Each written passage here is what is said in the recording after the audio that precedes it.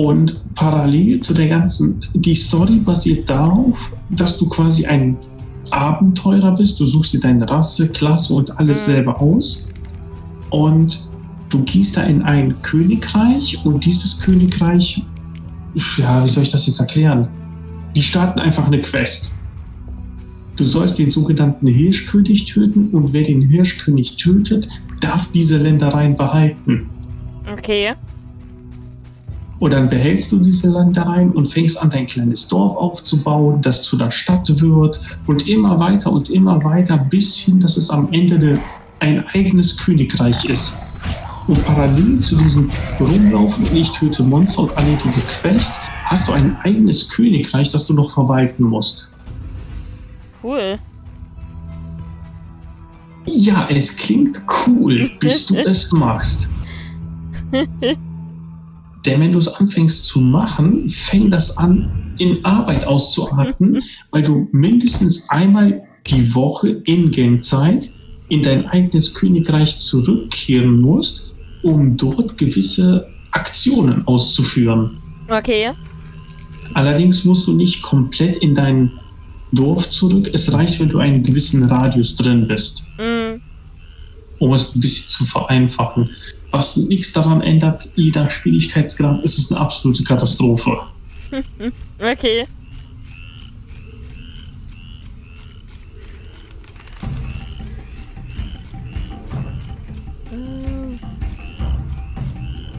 Das klingt jetzt, äh, also schon soweit ganz cool. Also, ja, aber wenn, also, also, wenn du irgendwann beschließen solltest, dieses Spiel zu spielen. Ich habe es zumindest vor, ich hatte es, äh, also namentlich kenne ich es auf jeden Fall. Ich glaube, ich habe das auch irgendwo auf irgendeiner Liste drauf, dass ich es mal spielen wollte. Äh, ja, mir geht es nur um Folgendes. Wenn du planen solltest, es mhm. irgendwann mal spielen zu wollen, Bitte bedenke, dass du mit unter 100 Stunden durch das Spiel nicht durch bist. Ich glaube, damit komme ich klar.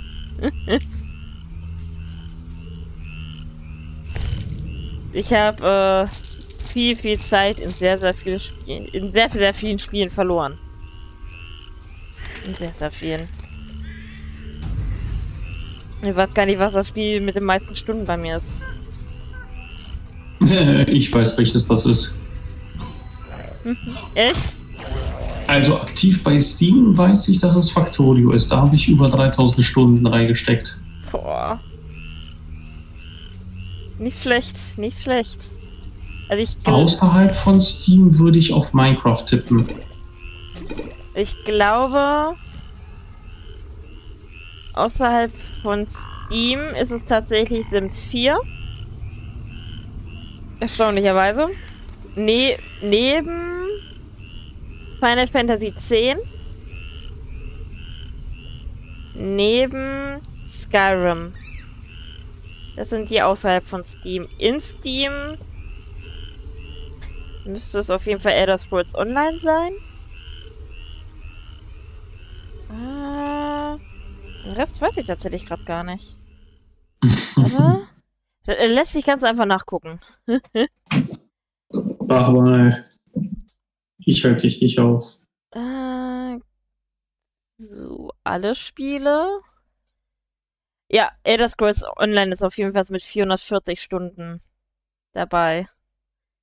Planet Zoo, äh, Civilization 5, Herr der Ringe Online. Dann auch hier drin Skyrim, nur hier drin habe ich weniger Stunden in Skyrim als auf der PS3. Auf der PS3 bin ich bei knapp 700 Stunden Skyrim und hier bin ich bei 173. Süße, zarte 173 Stunden. Ja, ich würde aber sagen, das ist noch immer nicht viel im Verhältnis zu meinem Factorio. Ja, das, das stimmt. Aber ja gut, vorher, ja, den Steam besitze ich auch noch gar nicht so lange. Wie lange bin ich denn bei Steam? Wo sieht man das denn? Ich glaube bei den Abzeichen, oder? Uh... Ja gut, fünf Jahre bin ich bei Steam. So viel zum Thema nicht lange. Und ja, davon habe ich die ersten zwei Jahre, glaube ich, kaum was gespielt. Da war ich noch relativ unschuldig. Da habe ich meine Zeit äh, auf Konsolen verbracht. Ähm, da floss bei mir noch nicht, äh, noch nicht mal so viel Geld, dass ich mir überhaupt irgendwas leisten konnte. Da hatte ich einen kleinen Taschengeldsatz, von dem ich mir dann vielleicht so mal ein paar, paar günstige Spiele gekauft habe.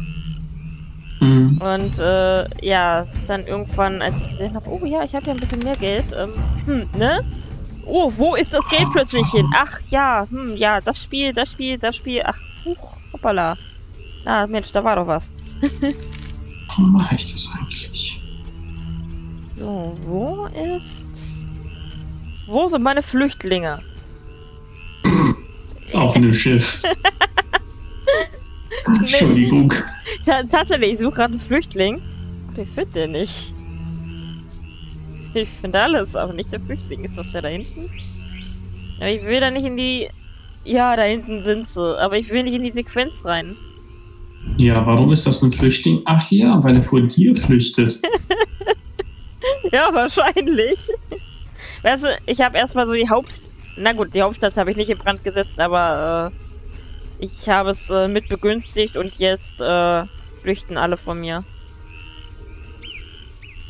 Wie immer. Die nehmen alle Reis aus. So, Tag hier Flüchtlinge. Schön, ihr sprecht mich direkt als erstes an. Das ist doch gut. Herr, habt ihr meinen Sohn gesehen? Nein. Er hat strohblondes Haar, Sommersprossen auf der Nase. Das ist ein der Kind Hammer. von zwölf Wintern. Nein. Ein alter Mann. Tut mir leid. Also wirklich ein alter Mann, der da gerade spricht. Damit er durch den Nebel findet. Bart, ein, ein, ein Sohn. Wie ich spricht hoffe, er? Ihr findet mit einer Stimme von einem ich suche die Striege, 19-20-Jährigen. ihr Versteck hat. Herr, seht ihr die alte der Kirche hat eine auf richtig dem junge Hügel? Stimme. Die Striege lebt in der Gruft. Nachts erwacht sie und streift durch die Gegend auf der Suche nach Blut. Sie das lässt euch in gar Ruhe? nicht. Einmal hatte sie es auf mich abgesehen. Aber ich bin nicht weggerannt, denn ich hüte dieses Feuer, das meinen Sohn durch die Nacht führen soll. Das Ungeheuer zögerte und lief dann weiter. Ja, Seither das ist jemand, der die. Pubertät verschlafen hat. Aber ich habe einmal gesehen, wie sie einen Mann erwischt hat. Es war grauenhaft. Erzählt Scheinbar. mir davon. Halt mich euch Das Geile ist, vor einigen Spielstunden, da bin ich an einem Mann vorbeigelaufen und der hat dann plötzlich in einer Frauenstimme mit mir geredet. War auch lustig. Der Moment, so- hast du, Moment, Moment, hast du jetzt ernsthaft ein Problem mit Transgender? Nein! Nein! Ja, ich will ja wohl jetzt hoffen. Nein! Aber im, im ersten Moment, Als das Haus Wenn du ständig an der gleichen Person vorbeiläufst, wurde, bin ich die aus im der männlich Stadt re geflohen. redet Die und plötzlich redet sie weiblich, da dachte ich auch nur so, huch. Zum Glück ist Okay. König Folters zurück. Ja, Wer nee, ist okay. Das ist, wieder an der die hat Kette? zur Transgender gewechselt. Richtig Darüber darfst so. du dich nicht lustig machen. Wisst ihr, was Wenn du dich über irgendwas lustig machen möchtest, dann mach das über Idioten. Du darfst dich über Idioten lustig machen, denn die sind keine Minderheit mehr. Ja, das stimmt. Das stimmt. Habe ich auch letztens irgendwo gelesen. Dumm zu sein ist richtig schwer. Die Konkurrenz ist echt groß. Hm, Ich glaube, wenn ich eine Liste führen müsste, die würde so schnell nicht mehr aufhören. So von Privatpersonen, die ich da so in meinem Leben bisher kennengelernt habe. Ja. ähm, meine Frau arbeitet im Einzelhandel. Ach du grüne Nonne.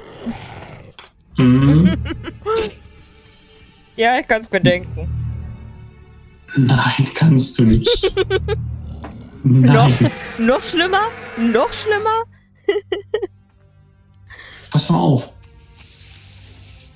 Ähm, alles, was mit Hygieneartikel zu tun hat, wann darfst du die Sachen umtauschen und wieder zurückgeben?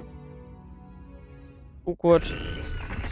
Das, das, da da habe ich tatsächlich keine Ahnung, aber ich, ganz ehrlich, ich habe in, meinem- ich hab, ich hab in meinem Leben noch nie was es immer zurückgegeben. zurückgeben. Du darfst es immer zurückgeben, solange du es nicht benutzt hast. Ja, gut.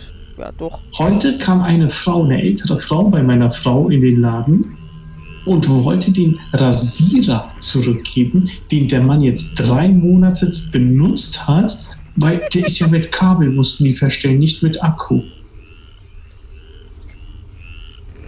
Okay. Nach drei Monaten benutzt Meister fällt ihm plötzlich auf, ach ja, da ist ein Kabel. Mhm. Mhm. Ähm, ja. Es ist was faul getan? im Staate Temerien. Höchste Zeit auszuwandern. ich gebe nie wieder einem ja, Anderling gut. Arbeit. Ne? So viel dazu. Oh, werter Herr. Ich würde niemals auf die Idee kommen, sowas dann noch zurückgeben zu wollen. Hundertprozentig war das Ding einfach kaputt und sie dachte, sie könnte, äh, würde damit durchkommen. Nein, nein, das hat funktioniert. Echt? Ja, ja. Okay, dann, dann ist es äh, noch dümmer als gedacht. Genauso haben jetzt heute mehrere Ich Leute bei denen an die Eingangstür geklopft. Ja, Ah, wann ja. macht ihr denn auf? Der Habt Lockdown ist doch jetzt erlegt? vorüber. Und habt ihr die Ähm, fünf Kiefer als nein. Beweis? Ist er nicht? Hm. Ja, ne, das, das wäre das wär mir jetzt auch neu. Ja, weil je nachdem, welche Inzidenzzahlen du hast, sind die Geschäfte jetzt wirklich offen. Hm. Aber in den einen Bundesländern darfst du mit schon so rein, da geht es auf Quadratmeter, wie viele Leute rein dürfen. Bei anderen Inzidenzwerten geht es darum nur mit Terminen Hm. und, und, und. Das ist ja überall anders. Ja, da hatten wir ja, ich wohne ja in der Nähe von Hannover, beziehungsweise was heißt in der Nähe, aber Hannover ist halt die, die nächstgrößere Großstadt. Und äh, da hat, hatte ich jetzt in der Zeitung gelesen, dass äh, wir eine Inzidenz von über 100 haben, die Möbelhäuser bei uns sich aber dennoch dazu entschlossen haben, zu öffnen, was sie gar nicht dürfen, weil wir ja über 100 sind. Also, ne? Da dachte ich auch so, Leute, ja, gut, schön. Ich weiß, ihr wollt Ah, öffnen, Ecke, aber, okay. ne? Haltet euch doch wenigstens dran. So. Ah, nee. ich meine, ich, mein, ich kann jeden verstehen, der gerne seinen Laden wieder öffnen möchte. Aber so sind die Zeiten jetzt halt einfach. Man kann ja nicht sagen, ach nö, mache ich jetzt trotzdem. Einfach weil ich die Lust, Laune habe, das jetzt zu tun. No. Hm. Ja. Ist genauso, äh, gut, die Floristen dürfen ja jetzt auch wieder arbeiten. Äh, Ich könnte auch. Also, pass auf, lass uns dieses Thema jetzt hier einfach abbrechen, weil ich könnte jetzt auch unendlich viel dazu sagen, aber das geht Richtung Politik und sowas ist in einem Stream immer blöd. Für dich, Ja. für alle anderen Ja. und etc. Auch wenn jetzt hier gerade niemand da ist. ja. Also, so, so, so, so ein bisschen kann man ja immer drüber reden, weil es ja gerade danach äh, die Zeit ist, aber du hast recht, äh, bis zu einem gewissen Punkt, ja, danach, ja, sollte man das wirklich privat machen. Vor allem, weil ich ja jetzt auch noch nicht so, so groß bin, dass ich da großartig, ne, Freiraum habe. Oh, ich Punkten. verfolge das Ganze seit Monaten, also ich bin da ziemlich weit mit drin. Ja, ich, ich krieg das halt durch meinen Freund immer ganz viel mit. Durch die Firma, die da am Laufen ist. Mhm. Und äh, ja. Das Einzige, was ich halt so an Einbußen habe, ist halt, dass ich meine Familie halt so nicht sehen kann. Äh, gut, je, jetzt geht's ja wieder. Jetzt äh, darf ich sie, äh, kann man sich ja wieder sehen. Ähm, zumindest halt Familie bi bis, ich glaube, vier, vier oder fünf Personen waren das. Aus zwei Haushalten, glaube ich. Kinder nicht mit eingerechnet. Ja, ja. So, so. Das heißt, äh, meine Großeltern dürfen Gott sei Dank wieder zu mir kommen. Oder halt zu uns. Und äh, da haben wir auch dann gesagt, gut, okay, wir warten das Ganze dennoch ein bisschen ab. Ähm, und haben uns jetzt für nächste Woche verabredet zum Kuchenessen. Und du kannst dir nicht vorstellen, oder doch, wahrscheinlich kannst du es, aber ich freue mich so sehr, die wiederzusehen, weil das, das ist so etwas, das hat mich wirklich runtergezogen, einfach meine Familie nicht zu sehen. So. Also ich habe meine, meine Mutter jetzt zum Beispiel immer wieder gesehen, wenn meine Kinder Geburtstag hatten, Weihnachten etc. pp. Wir haben dann halt die Leute, die vorbeikommen, immer voneinander getrennt. Heute dürfen die, heute die. Hm. Was äh, auch nicht so ganz das Gelbe vom Ei ist. Und am Mhm. Ende hast du sowieso am Ende der Woche zehn Leute gesehen, sag ich mal. So viel war es natürlich nicht, aber du weißt, was ich meine. Ja. Aber meine Oma zum Beispiel habe ich jetzt seit über einem Jahr Was nicht gesehen. Nee, in, innerhalb von einem Jahr war ich einmal da. Okay. Auf! Einmal war ich da.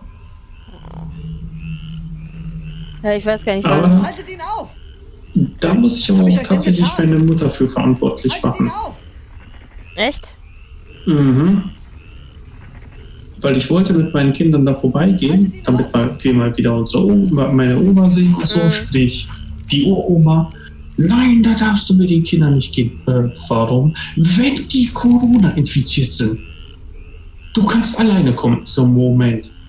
Wenn die Kinder Corona haben, bin ich auch infiziert. Dann stecke Ja. ich. Nein, nein, nein, die Kinder dürfen nicht. Pass mal auf, ich will da trotzdem nicht hinkommen. Wenn du zu Oma gehst, dann mach ich dich für ihren Tod verantwortlich. Ach du grüne Neune. Da hab ich mir gedacht, weißt du was? Ich komme nicht vorbei. Kein Problem. Du willst das nicht, ich bleib zu Hause. Ja. Ja. Und jetzt jammert sie seit Monaten. Warum besuchst du nicht die Oma? Ja. Also, gut, me- meine Großeltern selber haben für die komplette Situation alles Verständnis. So. Dann meine Eltern das andere Extrem. Auf der einen Seite sagen sie, ja, okay, Regeln und so sind alle, sind alle in Ordnung, sind alle wichtig. Und dann wieder auf der anderen Seite beschweren sie sich in einer Tour und äh, tun so, als wenn sie halt zu den äh, Leugnern da gehören. Wo ich mir auch denke, Alter, den Stuss, den ihr so manchmal von euch gibt, ne? Äh, am besten ist es, ja, seid einfach mal kurz ruhig. Äh, ich, ich kann mir das nicht mehr anhören. So, Und dann Mhm. auf der wieder anderen Seite dann so, ja, äh, wir halten uns hier immer dran. Und ich, ich habe ich, ich, ich, ich, ich, ich hab mit meiner Mutter schon aufgehört, überhaupt zu diskutieren, weil mir wurde das sowas von zu blöd. Also ich, ich kenne deine Eltern nicht und ich will ihnen auch nichts Böses, aber diese Aussage, wir halten uns immer dran. Nein, das stimmt nicht. Nee. Also, ich. Oh Gott, warte mal. Wann war ich das letzte Mal einkaufen? Ich war schon Ewigkeit nicht mehr einkaufen. Ich habe mich ja komplett isoliert gehabt, aber für mich ist das halt auch nicht so wichtig, Freunde zu treffen tatsächlich. Das mein Freundeskreis ist nicht groß gewesen, auch, auch jetzt noch nicht. Mir reichen die, die ich habe und die, äh, mit denen kann ich wunderbar zocken und, äh, ne, bin ich voll und ganz zufrieden. Äh, wichtig war mir halt immer, dass ich meinen Freund sehen konnte. Jetzt bin ich ja zu ihm gezogen, Gott sei Dank, seit, seit Monaten. So, da war, waren mir das alles so ein bisschen egal. So, weil, pff, ja, ich habe weit vor der Tür. Wenn ich äh, raus will, gehe ich dahin. So, Stadt, weil eh nie meins. Wo, wozu sollte ich dahin gehen? Also an sich äh, habe ich selber keine großartigen Einbußen, aber andere halt. So. Und ich bin damit hier ziemlich komfort. Ich bin auch nicht gerade so der Mensch, der viele soziale Kontakte braucht. Also klar, so mal eine Feier im Jahr, ja klar, stör, äh, ist halt schon blöd, wenn es mal nicht stattfindet, aber ehrlich gesagt, so die Ruhe, es kommt mal nicht jedes Mal irgendeiner vorbei. Es gibt keine großartigen Saufpartys oder. Ne? Ja, ich du du, du musst einer kein blödes Gelaber von irgendwem anhören. Außer halt das. Ich bin aber in einer ganz anderen Lebenssituation wie du. Ja. Für mich ist es nicht so schlimm. Ich habe aber zwei kleine Kinder hier, beide unter zehn Ja. Jahren. Und für die ist es am schlimmsten. Ja, in ein paar Tagen hat meine Tochter Geburtstag und Ah. ja, lange Rede, kurzer Sinn, es wird nur eine einzige Freundin eingeladen. Mm. Ja, aber bei meiner Schwester, also gut, zwischen meiner Schwester und mir liegen 20 Jahre Unterschied.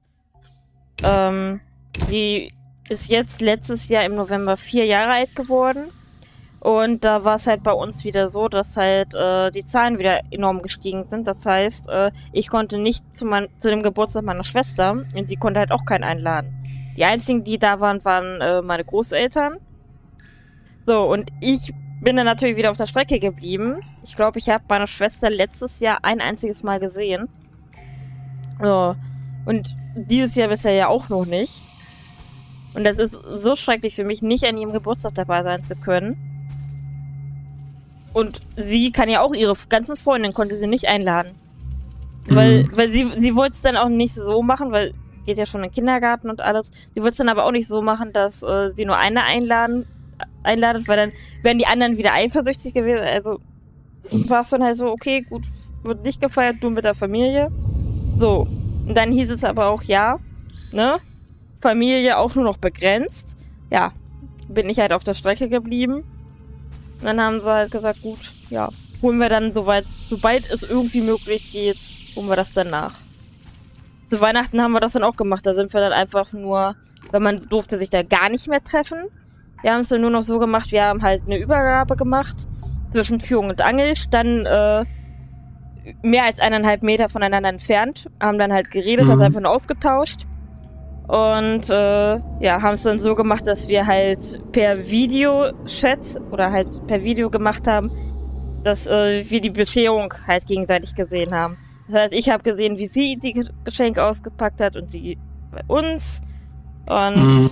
ja, das, das war dann so ein, so ein kleiner Trost, aber halt nicht dasselbe, als wenn man nee, halt direkt, als, als wenn man halt direkt in einem Raum sitzt, äh, miteinander kuscheln kann, so und einen schönen Abend zusammen verbringen kann. Weil sonst äh, habe ich ihr dann auch immer was vorgelesen oder wir haben gespielt oder ja, das, das fehlt halt alles. So, mhm. und sie, ist ja vier Jahre, wird dieses Jahr fünf. Die hat doch keine A großartige Ahnung, was da draußen eigentlich passiert. Klar, sie weiß, okay, da ist irgendwas äh, Komisches im Gange, aber das, das versteht sie ja nicht. Äh, e egal, wie gut sie äh, das alles aufnimmt, aber kann so ein Kind noch gar nicht begreifen. Und das ist so schlimm für sie, dass sie halt nicht mit anderen spielen kann. Und so wird es ja mit deinen Kindern ja genauso sein. Und von anderen Leuten. Also die, aua, die Kinder tun mir am meisten leid. Die sind die Leidtragenden. Ja, ich habe ja, ich habe ja jetzt das Glück, dass ich zwei Kinder habe, die vom Alter zweieinhalb Jahre gerade, knapp etwa zweieinhalb Jahre auseinander sind. Und die können noch miteinander wenigstens was anfangen. Mm. Ich habe aber auch eine Frage eher persönlich. Mm. Musst du natürlich nicht antworten, wenn du nicht willst. Aber was hat deine Eltern bewegt, so viele Jahre später noch ein zweites Kind zu kriegen? Ähm, also meine. Wie gesagt, du musst nicht antworten. Das, das ist ja, äh, also für mich selber ist es nichts Schlimmes. Äh, meine Eltern waren kurzzeitig getrennt, ähm, weil sie halt wirklich sehr großen Streit hatten, ähm, wo es auch verständlich war, dass sie gesagt haben, gut, okay, Schluss. Sie hatten sich halt nur noch nicht scheiden lassen, aber sie waren halt in zwei verschiedene Wohnungen, haben gesagt, gut, nö, wollen wir nicht. So, du kannst mir gestohlen bleiben.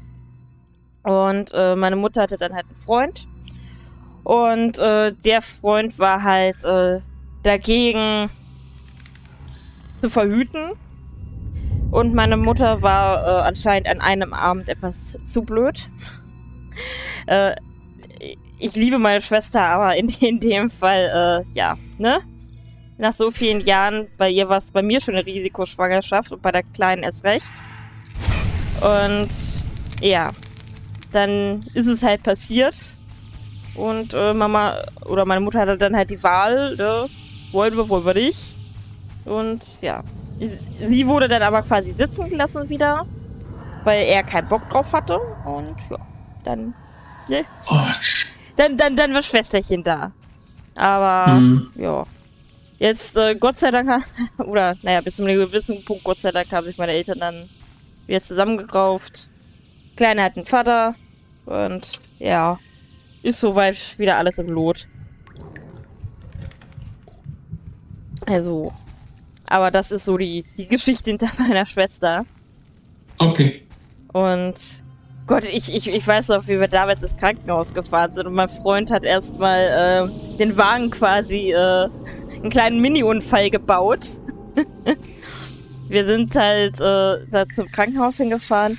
Dann an so, an so einen äh, Parkpfeiler sind wir dann zu nah ran und haben dann erstmal eine schöne Delle ins Auto gefahren. Vor lauter Aufregung.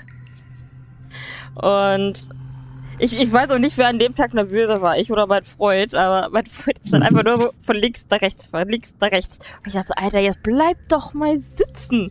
Du machst mich total kirre. Also, ich war bis zu einem gewissen Punkt die Ruhe selbst. So. Aber er hat mich dann so kirre gemacht. Ich meinte nur so, sag mal, wenn wir irgendwann in der Situation sind, brichst du dann komplett zusammen, oder? So, also, Entschuldigung, ich bin so aufgeregt und das war so niedlich, wie er dann wirklich da die ganze Zeit hin und her gerannt ist. Oh, das, das, das war einfach nur goldig. Das war bei uns im zweiten toll, als meine Frau in den Wehen lag. Ähm, wir haben das alles mit meiner Schulmutter abgesprochen, weil du kannst ja den Geburtstermin so Pi mal Daumen ja einigermaßen ziemlich genau mittlerweile Mhm. ausrechnen und so. Und dann war es halt soweit, da habe ich meine Mutter noch angerufen, da habe ich gesagt, pass auf, wir machen uns jetzt auf den Weg zum Krankenhaus, es ist jetzt soweit. Hm, Dann habe ich meinen Sohn bei meiner Mutter abgegeben und bin mit meiner Frau weiter Richtung Krankenhaus, weil meine Mutter wohnt da quasi direkt um die Ecke. hm. Ja, und dann lag sie da in den Wehen und dieses und jenes. Und meine Mutter hatte auch noch ausgerechnet irgendwie Spätschicht. Oh. Ja, war für sie alles soweit in Ordnung und kein Problem, aber ja, dann saßen wir da im Kreissaal, irgendwann mitten in der Nacht und ich dann so mir nichts, dir nichts zu meiner Frau, wie die Hebamme daneben stand. Ja, pass auf, jetzt musst du dich langsam sporten. In der Dreiviertelstunde muss ich zu meiner Mutter den Jungen abholen, weil die muss dann zur Arbeit. Die Hebamme guckt mich total schockiert an. Also wirklich, das kannst du doch ihrer Frau so nicht sagen. Viertelstunde später war das Kind da. Ja. oh Mann.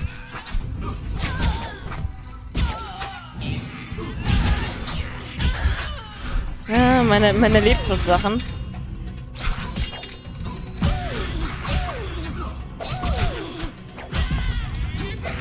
Ich weiß auch damals, wie meine Schwester dann aus dem, aus dem Kreissaal gekarrt wurde.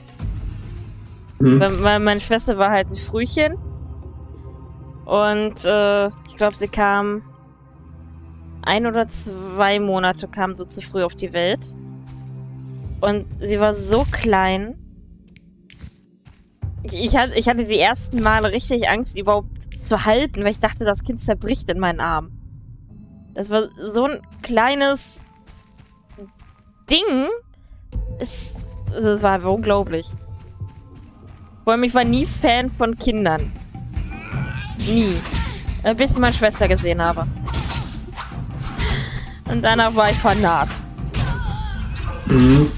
Das war bei uns auch immer so eine tolle Sache.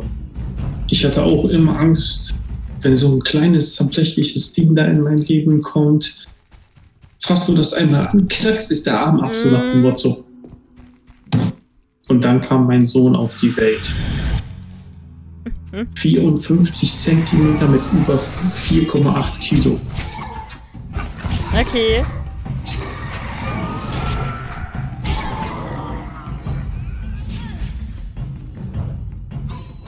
Ja. Ich habe aber noch ein paar Jahre. Gut. Mein, mein Freund hätte jetzt schon gern welche, aber wir sind halt sieben Jahre auseinander. Und ja. Er, er kommt aber noch früh genug zu sein, sein Kinderchen. Zu unseren Kinderchen. Sofern alles natürlich so bleibt und nichts dazwischen kommt. Man weiß ja nie so, was das Leben so bringt. Es, es, es kann immer Krankheit dazwischen kommen, es kann Privates dazwischen kommen. Es, ach Gott, was alles passieren kann.